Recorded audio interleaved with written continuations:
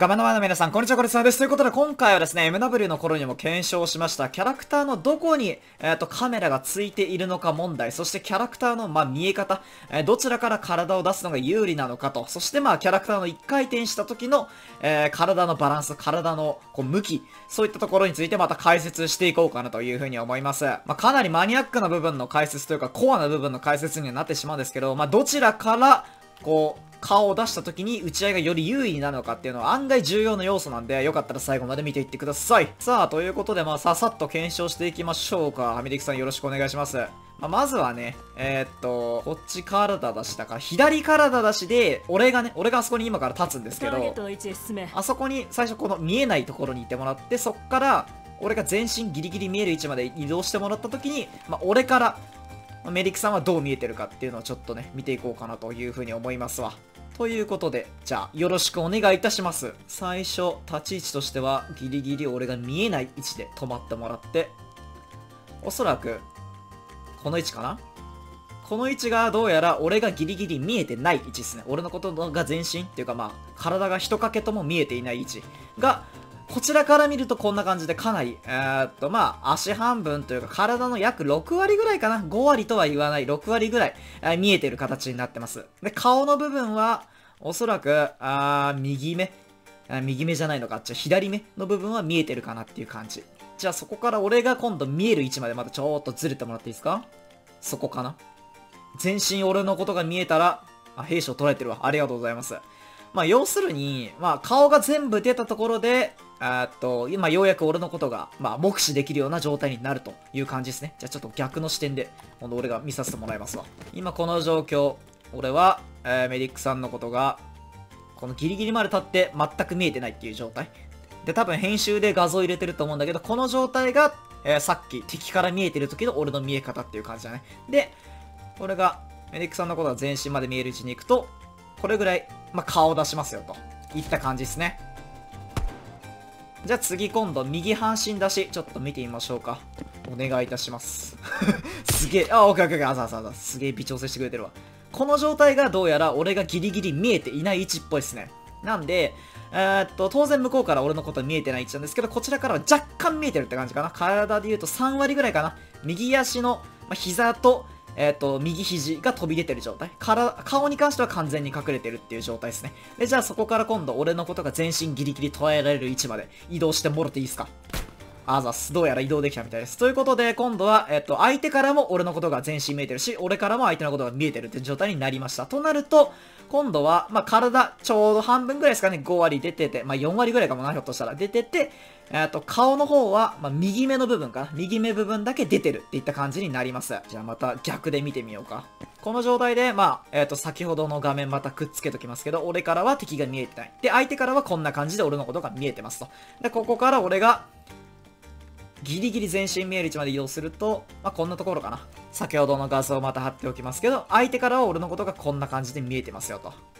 で、逆に俺からは相手の全身が見えてるといった見え方になっております。まあ、このことから、えー、っと、判断というか分析すると、おそらくキャラクターの今作のカメラの位置っていうのは、まあ、右目ですね。に、ほぼ右目に近いところについてるんじゃないかなっていう感じですね。まあ、なので、基本的には、まあ、50な状態というか、この、まあ、直線上、平行線上の状態で、こうショルダリングをする場合っていうんですかね。敵がそこに隠れてるとして、まあ、ちょっと確認したいなって時は、えこの右半身出しのショルダリングであれば、まあ、より敵から逃げやすいって言ったらいいのかな。被弾を抑えながら相手のことを目視することだけできると。で、逆に、こっちの左半身出しのショルダリング。こっちになっちゃうと、こちらのまあ、目視するために出す体のパーツっていうのがかなり大きくなってくるので、こちらからのショルダリングっていうのは多少弱くなる。っていった感じで、まあ、今作の仕様になってるんじゃないかなというふうに思います。で、えっと、次にあれですね、カメラのブレですね。MW の頃は、このキャラクターの動きっていうのが、まあ、下半身が動いて上半身が動くっていう、風な連動の仕方をしてました。こうやってキャラクターがねじるというか、こう向きを変えるごとに。で、まあ、1周とか2周とか適当に動くと、下半身のねじれと上半身のねじれにズレが生まれて、まあ、それによってキャラクターの見え方とカメラの位置にズレが生じるっていう、まあ、そういった仕様になっていたんですよね。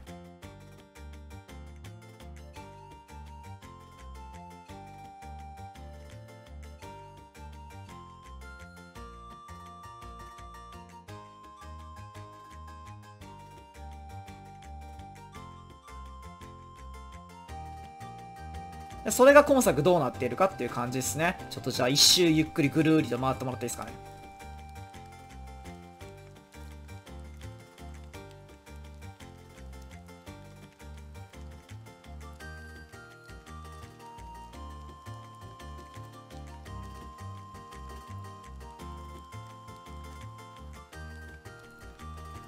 ありがとうございます。今360度ぐるっと回ってもらったんですけど、まあ今作はおそらくそういったねじれでのズレっていうのは生まれないんじゃないかなというふうに思います。えー、最初のこの体の形、整体した形と全く同じ形に戻ってきてくれましたよね。基本的には、まあ上半身と下半身が連動して動く。あと今までのその BO4 の頃とかみたいなキャラクター、なんかフィギュア、フィギュアがそのまんまこう固定されたように動くっていう動き方ではももちろん当然ないんですけど、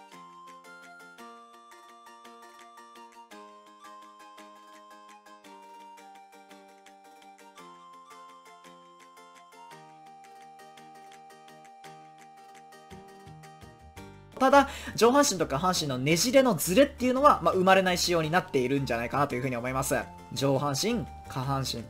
上半身、下半身っていう形でちゃんとついていって最終的にここに持ってきた時にこんな感じで正対した動作は全く、正対した向きっていうのかな？は全く変わんないですよね。左足が前に出てて右足を半歩引いてる状態。この状態できちんと正対する回転の方式になってるんじゃないかなというふうに思います。なのでですね、まあ今作に関しては基本的にこの、えっと、右壁出し、右頭出し、右顔出し有利で、あまあ、その、そのことさえ頭に入れておけばカメラのズレみたいなのは全く気にする必要ないんじゃないかなというふうに思います。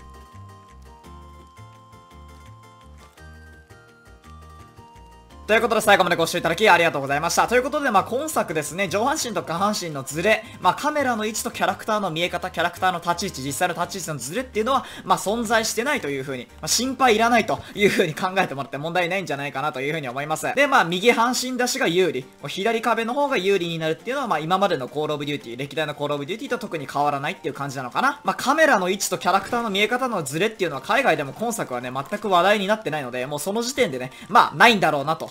いう風には思っていたんですけれども、まあ、ちょいちょいコメント欄とかでもね、今作はあのカメラの去年のズレはどうなったんだろうみたいに心配されてる方もいたので、まあ、一応今回検証させていただきました。心配ないです安心してくださいということでまあ皆さんね、これからまあちょっとこうやって体を出す時っていうのは、ぜひショルダリング、まあ左半身で出さなきゃいけない場面って絶対存在するので、いや、そうは言っても場面なんか選べねえよとは思うんですけれども、まあこうやって左で出してる時は体が結構相手からはちゃんと見えてるよっていうのを意識してもらうっていうのは結構大事なんじゃないかなというふうに思います。逆にまあこの右半身出しの方がきちんと相手の被弾から逃げれる確率は高いよっていうところですね。ということで最後までご視聴いただきありがとうございました。よかったらチャンネル登録、高評価ボタン、コメントの方よろしくお願いします。また次回の動画でお会いいたしましょう。これつなでした。お疲れ様です。おーつーとう